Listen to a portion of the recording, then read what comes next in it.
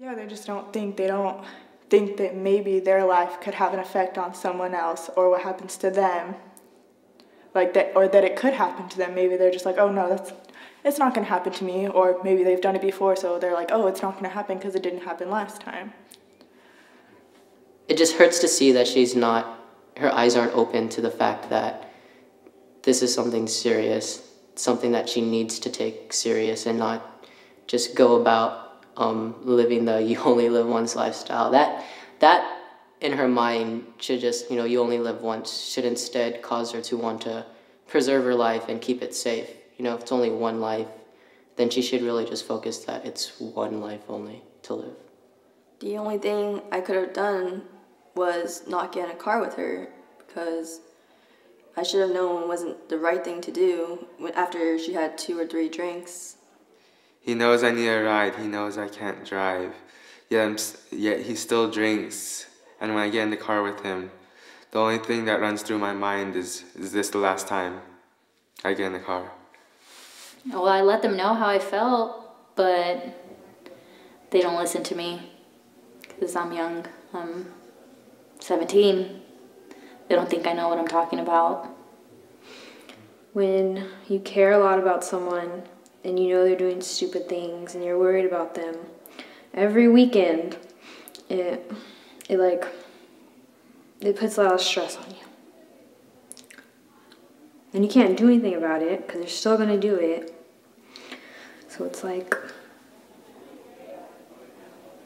what can you do? Well, I always told you that I would come get you if you needed a ride just to call me and I don't mind. It's not like I don't I don't want you to drive at all. I'd rather just go pick you up. I don't mind if I miss a couple of hours of sleep, if I have to leave somewhere early. If you want me to come get you, I'll get you. And you'll you should just feel safe because your life is so important to me. I don't want anything to happen to you. And I want to make sure you're here to see me grow.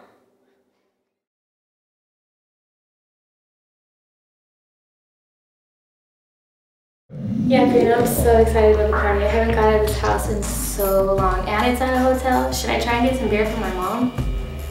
Okay, yeah, can't wait to see you. See you tomorrow. Bye. Oh, hey. What was that all about?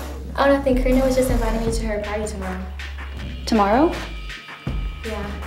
Uh, I thought you were going to come with me in my wedding dress tomorrow. We can do that anytime. This party is important. I need to be there. You made plans with me tomorrow. You're going to flake on me? I have to be there. Parties like this don't come around every day. I needed you there. This is important to me. like my wedding only comes around once. Parties come around whenever. Can't we just reschedule? I already booked this appointment weeks in advance. I can't just make another appointment whenever I feel like. Well, you're gonna have to go without me then. Yeah,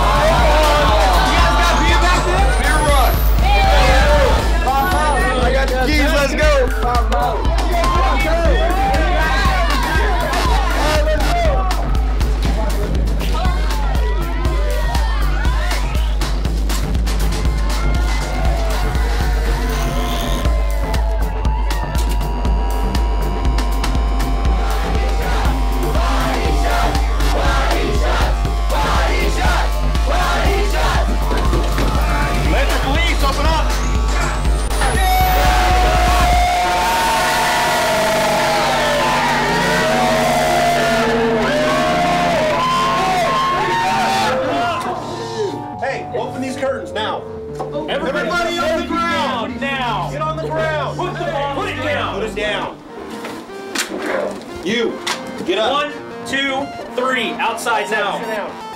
Everybody else, get your IDs ready. And you better have a phone number for your parents right now. Sit.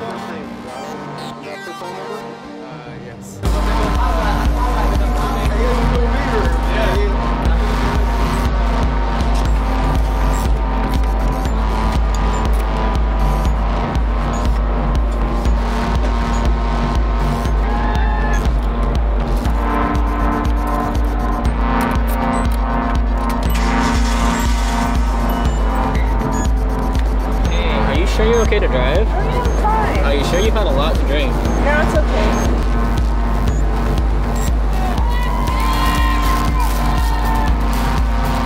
Driving down there, it's like that's pretty um, intense.